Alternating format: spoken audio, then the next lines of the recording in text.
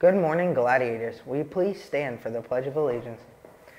I pledge allegiance to the flag of the United States of America and to the republic for which it stands, one nation under God, indivisible for liberty and justice for all. Today is Monday, January 10th, day one on the six-day cycle.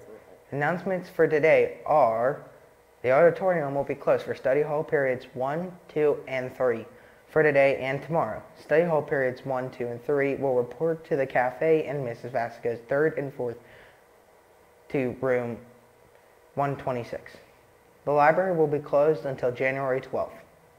Steele Center students who are taking the Keystone test should report to the auditorium during homeroom. Attention middle school students.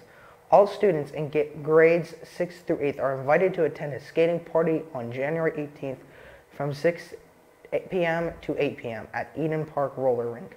Admission is $5 and ski rental is $4. The snack bar will be open to purchases, snacks, or drinks. No food or drinks from outside the facility will be permitted. A form will need to be signed by your parent or guardian for permission to attend. All students attending get a chance to win a gift card. Have fun. Don't break your ankles. It's not good for you. Over to you. Over to me.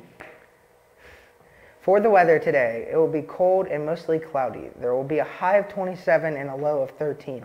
Tomorrow there will be a high of 21 and a low of 17.